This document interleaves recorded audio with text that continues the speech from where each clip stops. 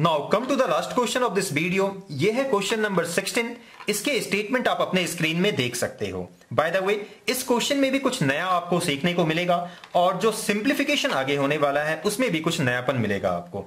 तो इस क्वेश्चन को भी थोड़ा सा केयरफुल्ली आप देखिएगा. तो चलिए पहले मैं एक्सप्लेन कर दूँ कि इस क्वेश्चन में गिवन क्या है और क्या आपको फाइंड करना है. As per the given of the question मैंने देखो ये फिगर बना लिया है। अब इस फिगर को मैं एक्सप्लेन कर देता हूँ।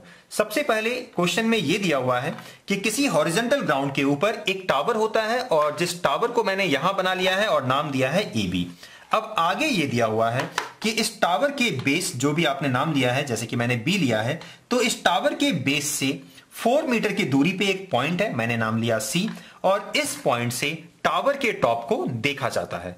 और जब टावर के टॉप को देखते हैं तो जो एंगल ऑफ़ एलिवेशन होगा, वो कितना बन रहा है, ये क्वेश्चन में गिवन नहीं है। ये जो मैंने थीटा लिखा है, इसकी स्टोरी मैं आगे बताने वाला हूँ।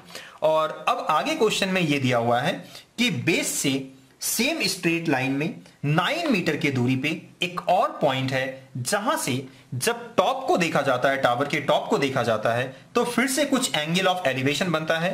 कितना? ये गिवन नहीं है। और जो मैंने लिया, अब वो मैं बताने वाला हूँ कि ऐसा मैंने क्यों लिया। क्वेश्चन में साफ़ साफ़ ये दिया हुआ है कि ये जो दो एंगल्स हैं, दोनों की एग्जैक्ट वैल्यू कितनी है, ये तो गिवन नहीं है बट दोनों आपस में कॉम्प्लीमेंट्री एंगल्स है, ऐसा क्वेश्चन में दिया हुआ है। And you all know very well complementary angle का मतलब होता है दोनों के सम 90 डिग्री और इसीलिए मैंने इन दोनों में से किसी एक को थीटा कंसीडर किया तो मैंने इसे किया है, आप चाहो तो इसे भी कर सकते हो। तो क्योंकि मैंने इसे थीटा कंसीडर किया है तो ऑब्वियसली ये हो जाएगा 90 माइनस थीटा। और ultimately you have to find the length of this tower A B जो मैंने नाम दिया है इनफैक्ट यहाँ फाइंड करने के लिए नहीं बोला गया है। आपको यह शो करना है कि इस टावर की जो लेंथ है, वो सिक्स मीटर की होगी। तो अब फाइंड करो या शो करो, बात तो बराबर ही है। फाइंड करोगे तभी तो अल्टीमेटली शो होगा ना। तो हम ये कंसीडर कर लेते हैं कि ये जो हाइट है, इसे मैं एच कंसीडर कर लेता हूँ और इसकी वैल्यू हमें फाइंड करनी है और हम ये जानते हैं इसकी वैल्यू सिक्स ही आएगी, ऐसा क्वेश्चन में दिया हुआ है। तो खैर, चलिए, हम इस चीज़ को अब कंटिन्यू करते हैं। कंटिन्यू करने के लिए सबसे पहले हमें आना होगा छोटे वाले ट्रायंगल में, यानी कि ट्रायंगल का नाम है A B C come to triangle A B C now in that triangle we have tan theta is equal to you know perpendicular by base और परपेंडिकुलर को तो फ़िलहाल मैंने h मान लिया है, और बेस का वैल्यू हो जाएगा फोर अब देखो, इससे ज़्यादा हम इसे कुछ कर नहीं सकते हैं तो कोई बात नहीं है, इसे हम इक्वेशन वन कंसीडर करके छोड़ देते हैं। अब जो सेकंड ट्रायंगल में हम काम करने वाले हैं, ये आपके लिए नया होने वाला है। और इसके लिए हमें आना होगा as you know triangle A B D में. Now in triangle A B D we have ये डिग्री जो है तो क्या हो जाएगा ये बताइए? टेन नाइनटी माइनस थीटा ठीक है? तो दिस एंगल टेन के साथ में ले रहा हूँ is equal to you know very well perpendicular by base तो परपेंडिकुलर को तो मैंने एच कंसीडर किया है, और बेस की वैल्यू कितनी हो जाएगी? नाइन हो जाएगी. और इसके बाद जो सिंप्लीफिकेशन होने वाला है, वही थोड़ा सा ज़्यादा इंटरेस्टिंग होने वाला है। खास करके पिछले क्वेश्चन की तुलना में जब हम कंपेयर करेंगे इसको तो तो खैर जो भी हो। 1090 minus theta is equal to क्या होता है? आप सब जानते हो कॉम्प्लीमेंट्री एंगल के कंसेप्ट के अकॉर्डिंगली हम इसे लिख सकते हैं। कॉट थीटा ठीक है? Is equal to H by ninety ten ninety minus theta is equal to cot theta होता है, ये आपने पढ़ा होगा।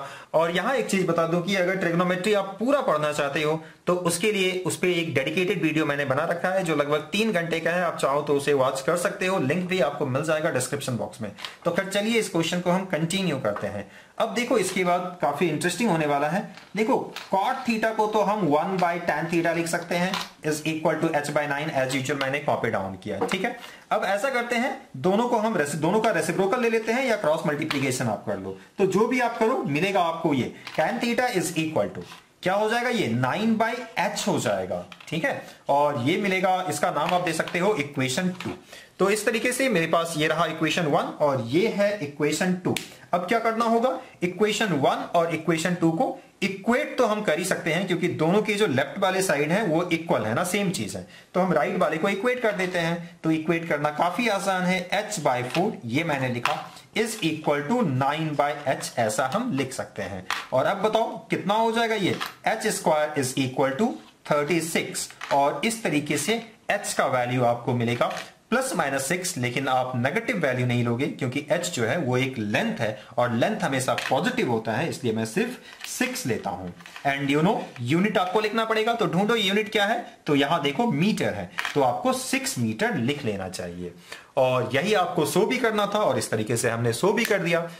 तो आई होप इस वीडियो में बताई गई सारी बातें आपको समझ में आ गई होगी। मिलते हैं फिर किसी वीडियो में। तब तक अपना ख्याल रखिएगा। Thank you